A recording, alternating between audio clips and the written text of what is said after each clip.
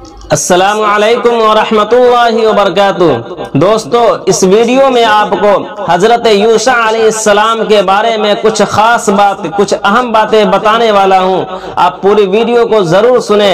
इंशाल्लाह आपको पूरी बात ज़रूर समझ में आ जाएगी। क्या आपको मालूम है कि हज़रत यूशा सलाम कौन थे और ये किन नबी से इनका हसब नसब मिलता है और किन नबी के बाद इनको नबूत का दर्जा मिला और ये किस कौम की रहनु रहनुमाई के लिए ये नबी बनाए गए थे। आइए वीडियो की शुरुआत करते हैं। हज़रत यूशा सलाम बनी इसराइल के ही एक नबी गुजरे हैं। इनका हसब नसब हज़रत यूसुफ सलाम से जाकर मिलता है। और वो हज़रत मूसा सलाम और हज़रत हारून सलाम के खादिम थे। जब हज़रत मूसा सलाम और हज़रत हारून सलाम का इंतकाल हो चुका और वो दुनिया से वफात पा चुके तो उसके बाद अल्लाह तबारक ने हज़रत यूसा सलाम को नबूत से सरफराज फरमाया और ये बनी इसराइल की रहनुमाई करते रहे। और इनकी एक बात और आपको जानकारी दे दूँ कि हज़रत यूशा सलाम का ज़िक्र अल्लाह तबारक ने कुरान में भी फरमाया है।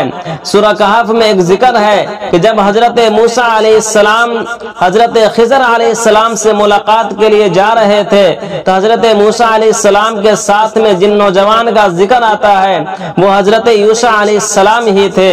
और हज़रत यूशा सलाम ही की क्यादत में अल्लाह तबारक व ताला ने बनी इसराइल को 40 साल के बाद मैदान तिया से निकाल कर बैतुल पहुँचाया।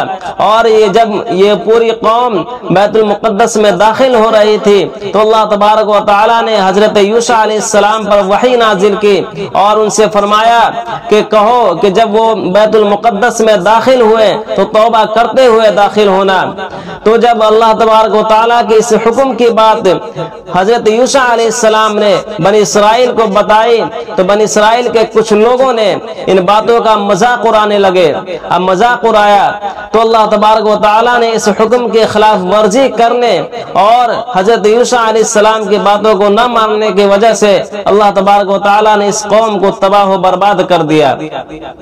मैं उम्मीद करता हूँ कि इस वीडियो में आपको पूरी बात ज़रूर समझ में आ गई होगी कि हज़रत यूशा सलाम का हसब नसब किन नबी से जाकर मिलता है और ये किस कौम के लिए नबी बनाए गए थे और ये किन नबी के बाद इनको नबूत का दर्जा मिला।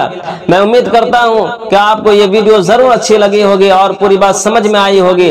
अगर ऐसे ही वीडियो के ख्वाहिशमंद है, ऐसे ही इल्म इजाफा करना चाहते हैं तो हमारे वीडियो को लाइक करें और दूसरों में शेयर करें। और हमारे चैनल पे पहली बार आए हैं तो हमारे चैनल को ज़रूर सब्सक्राइब करें।